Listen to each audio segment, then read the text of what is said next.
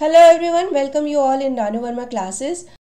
तो आज हम लोग पढ़ने वाले हैं एटॉमिक स्ट्रक्चर सीरीज़ के अंतर्गत। मैक्सवेल ने जो थ्योरी दी और हाइड्रोजन स्पेक्ट्रम को लेकर के जो स्टडीज़ हुई, उसके बेस पर नील्स बोर जो कि रदरफोर्ड के स्टूडेंट थे, उन्होंने रदरफोर्ड के मॉडल में क्या क्या कमियाँ निकाली और उन कमियों को दूर करने के लिए उन्होंने कौन से पॉस्टुलेट्स दिए। और लास्ट में हमने हिंदी और इंग्लिश में इस पे बेस्ड नोट्स भी दिए हैं। आप चाहिए तो वीडियो को पॉज करके इन नोट्स को नोट डाउन कर सकते हैं। इस टॉपिक को समझने से पहले आप मेरा पिछला वीडियो वीडियो जो थॉमसन रदरफोर्ड मॉडल का है, उसको ज़रूर देखें, उससे आपको कॉन्सेप्ट क्लियर हो जाएगा।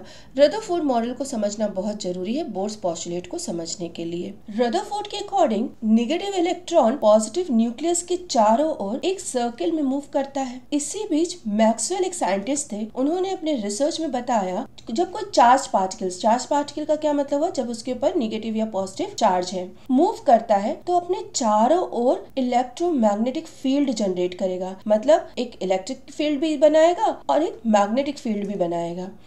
अब इसी बेस पर बोर ने रदरफोर्ड मॉडल में कमी ढूंढी कि इलेक्ट्रॉन नेगेटिव चार्ज है और प्रोटॉन पॉजिटिव चार्ज है। इलेक्ट्रोमैग्नेटिक कैरेक्टर के कारण इलेक्ट्रॉन के मूवमेंट में एक्सलेशन होगा, जिससे एनर्जी धीरे धीरे धीरे कम होती जाएगी और इलेक्ट्रॉन न्यूक्लियस में आकर के गिर जाएगा।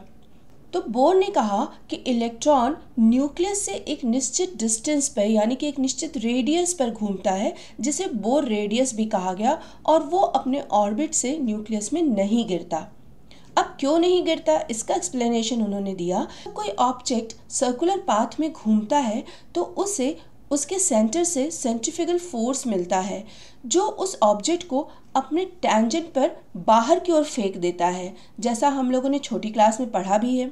इलेक्ट्रॉन के ऊपर भी न्यूक्लियस के सेंटर से बाहर की ओर सेंट्रीफ्यूगल फोर्स लगता है, पर इलेक्ट्रॉन बाहर नहीं फेंकता, क्योंकि उसी मैग्नीट्यूड से पॉजिटिव प्रोटॉन नेगेटिव इलेक्ट्रॉन पर अट्रैक्शन फोर्स भी लगाता है।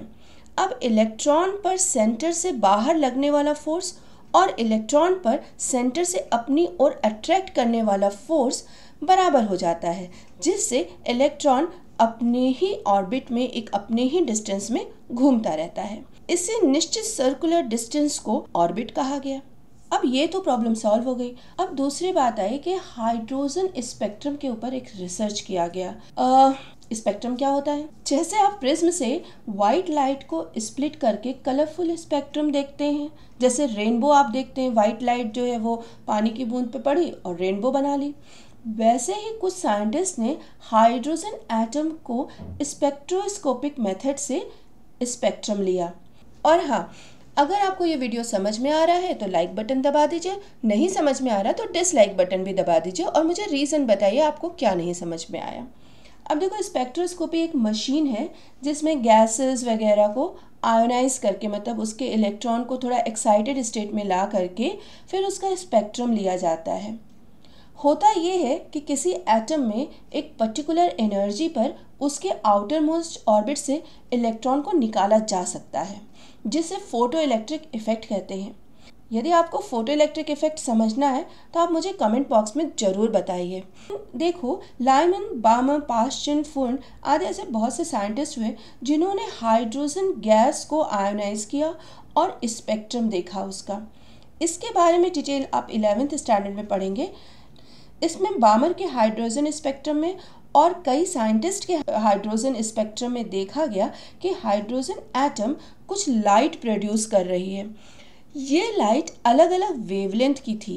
इनके वेवलेंथ में अंतर था। जैसे एक वेवलेंथ की यूनिट थी four eight six one point three angstrom तो वहीं दूसरा वेवलेंथ जो था, वो four three four zero point five angstrom का था। ऐसा नहीं था कि लगातार हमको कोई स्पेक्ट्रम मिल रहा हो लाइट का। जैसे आप रेनबो में दिखते हैं या व्हाइट लाइट को स्प्लिट करके देखते हैं कि लगातार हमको स्पेक्ट्रम मिलता जाता है कलर किसी भी एक कलर के बीच में कोई डिस्टेंस नहीं है, कोई ब्लैक स्पॉट नहीं है। ऐसा हमको हाइड्रोजन में नहीं दिखा।